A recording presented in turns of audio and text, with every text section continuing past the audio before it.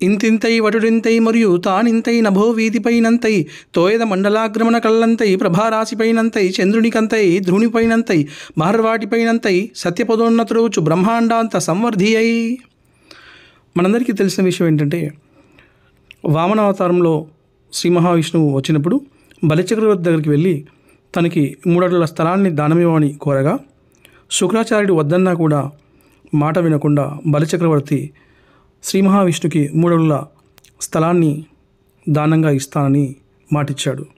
అందుకు గాను మొదటి అడుగులో భూమిని మొత్తాన్ని ఆక్రమించగా ఇంకొక అడుగు విశ్వాన్ని మొత్తాన్ని కూడా ఆయన ఆక్రమించాడు.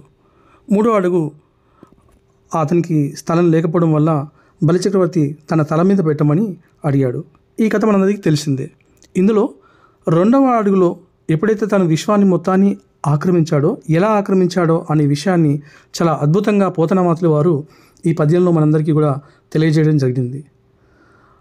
ఎలా ఉందంటే ఇంతింతై వటుడింతై మరియు తానింతై అంటే అంతసేపు ఉన్నటువంటి ఆ బాల బ్రహ్మచారి అంటే ఒక పొట్టివాడుగా ఉన్నటువంటి బాల బ్రహ్మచారి ఇంతింతై వటుడింతై మరియు తానింతై అంటే ఉన్న పలంగా పొడుగు పెరిగిపోయాడు. ఎలా పొడుగు పెరిగిపోయాడంటే అర్థం కాలేదు ఎవరికి. అలా పెరిగిపోయాడు పొడుగు.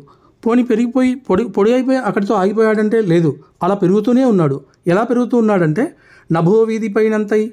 అంటే ఆకాశాన్ని కూడా దాటి ఆకాశం కన్నా ఎత్తున్నాడా అన్నంతగా ఎదిగి ఎదిగిపోతున్నాడు. తోయద మండలాగ్రమణ అల్లంతే అక్కడితో ఆగలేదు. తోయద మండలాగ్రమణ అల్లంతై. అంటే ఆ మేఘాలని కూడా దాటుకొని అలా పెరుగుతూనే ఉన్నాడు. ప్రభారాశి పైనంతై. అంటే ఆ మేఘాలను దాటిన తర్వాత వచ్చే ఆ బ్రహ్మాండమైన వెలుతురు ఏదైతే ఉందో పాలపుంతల వెలుతురు ఆ వెలుతురు ఆ- దాన్ని కూడా దాటుకొని అలా వెళ్ళిపోతున్నాడు. వెళ్ళిపోయి ఎక్కడికి వెళ్ళాడు? చంద్రునికంతై అంటే చంద్ర మండలాన్ని కూడా దాటి వెళ్ళిపోయాడు. ధ్రువునికంతై ధ్రువ నక్షత్రము మొదలైన నక్షత్రాల యొక్క ఆ అంత ఎత్తును కూడా దాటి ఇంకా పైకి వెళ్ళాడు.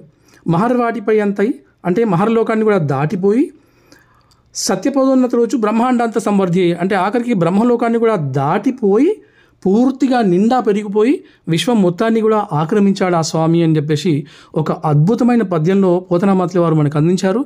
ఈ పద్యాన్ని కనుక మీరు కొంచెం గట్టిగా ప్రయత్నించి నోటికి నేర్చుకుంటే చాలా బాగా బ్రహ్మాండంగా అనిపిస్తుంది. ఒకసారి ప్రయత్నించి చూడండి. ఇంతటి అద్భుతమైన పద్యాన్ని మనకు అందించేటువంటి పోతనామాతలి వారికి మనస్ఫూర్తిగా పాదాభివందనాలు తెలియజేసుకుంటున్నాను. మీరు కూడా ఈ పద్యాన్ని నేర్చుకొని తరించవలసిందిగా మీ పిల్లలకు నేర్పించవలసిందిగా ప్రార్థిస్తున్నాను. ధన్యవాదాలు.